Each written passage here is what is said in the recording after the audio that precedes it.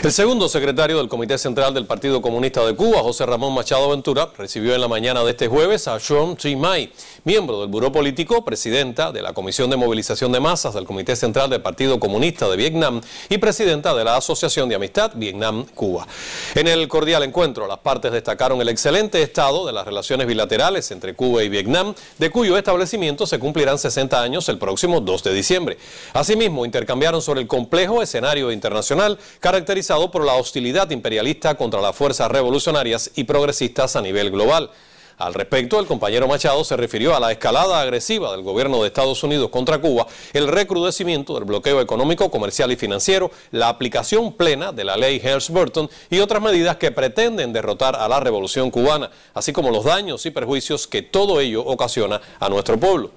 La dirigente vietnamita ratificó la invariable posición del partido y del Estado de esa hermana nación de rechazo al bloqueo estadounidense, así como la voluntad de la alta dirección vietnamita de continuar fortaleciendo los nexos de hermandad con nuestro país. Expresó su agradecimiento por las actividades celebradas en ocasión del 90 aniversario de la fundación del Partido Comunista de Vietnam y el honor de ser el país invitado a la Feria Internacional del Libro. Acompañaron a la distinguida visitante el embajador de la República Socialista de Vietnam en Cuba, Nguyen Xuân Tan, y miembros de la delegación. Por la parte cubana estuvieron presentes Abelardo Álvarez Gil, miembro del secretariado y jefe del Departamento de Organización y Política de Cuadros, el Comité Central y otros dirigentes del partido.